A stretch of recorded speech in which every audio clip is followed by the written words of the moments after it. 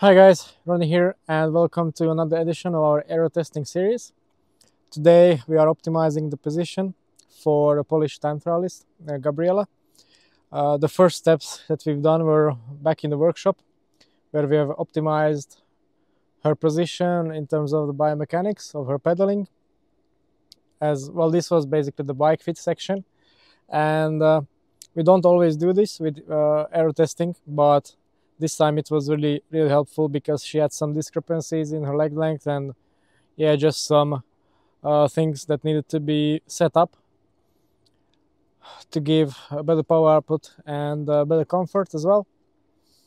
So we use some cleat spacers and shims uh, to adjust the these were the most significant uh, things uh, in terms of her shoes and shoe setup and we did some tweaks to saddle height and setback.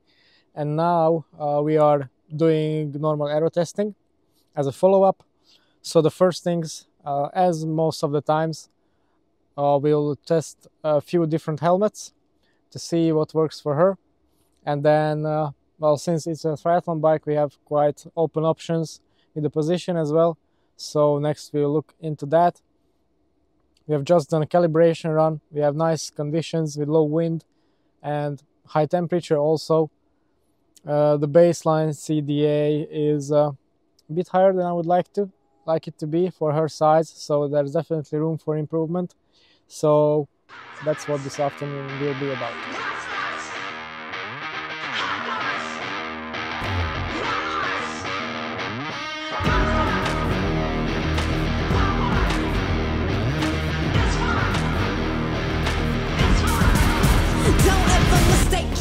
Young legend in the making. Heard they was salty, so I shake them. Yeah, I heard them hating.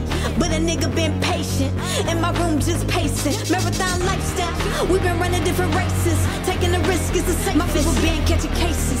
So I'm stacking up faces. Trying to show them different places. Cause they only need to wait out. Ain't had much but stand down.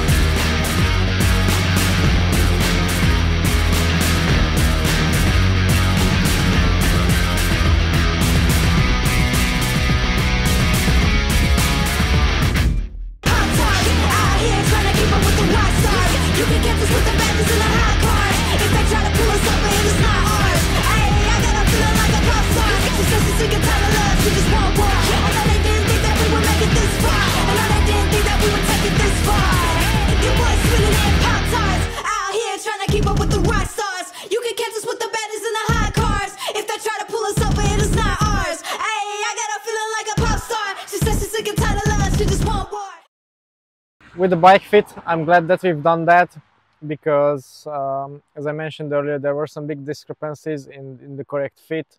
Uh, the pedal stroke was not very nice quite choppy. So we managed to stabilize gabriela quite a lot on the bike. This will improve her comfort. Uh, maybe not power directly but indirectly yes. And of course the aerodynamics because she's more static in the position then we went on for the test and uh, to be honest, this was not uh, what we usually expect from the tests.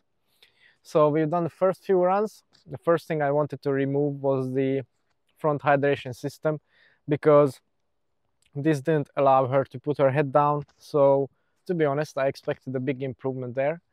But actually, when we tested it first, uh, it was a lot worse.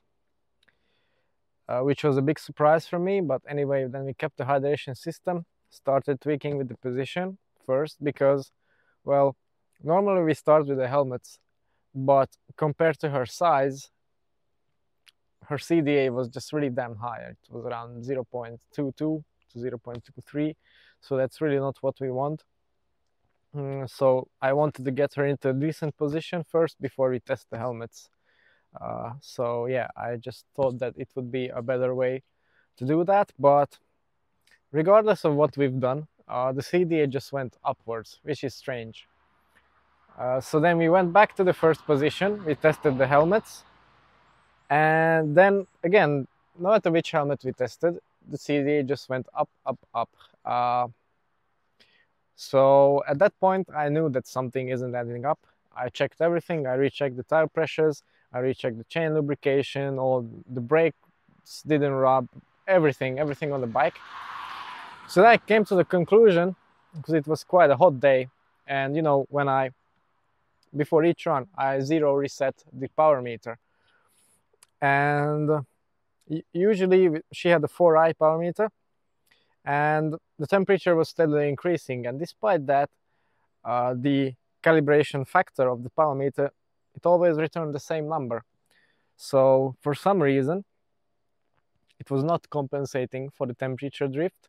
And even though she was riding basically the same power in reality because the speeds were pretty much the same and her effort was pretty much the same the power kept creeping up. So our cda kept creeping up and it this meant that all of this data that we recorded before was useless, frankly, and I didn't trust it. So luckily, I had a pair of these PowerLink pedals with me. Uh, yeah, somewhere here, which uh, I trust quite a lot. And she was also on a SpeedPlay setup. So we swapped these and basically rerun everything from the beginning and uh, yeah starting with the hydration system we removed that and this enabled her to lower her head position by four centimeters but this didn't improve her CDA by much at all. Uh, so yeah that was a surprise. Then we checked the helmets. Again her own helmet. The MET Drone was the fastest. So we kept that. And finally, finally, we managed to find a small improvement when we changed her stack height to a lower one. But it wasn't very impressive, to be honest. And her overall CDA is still not very good uh, compared to her body size. So, unfortunately, things like this happen. We tried our best. We were out here for six hours. And yeah, normally we can make some decent improvements uh, in that time, but didn't happen this time.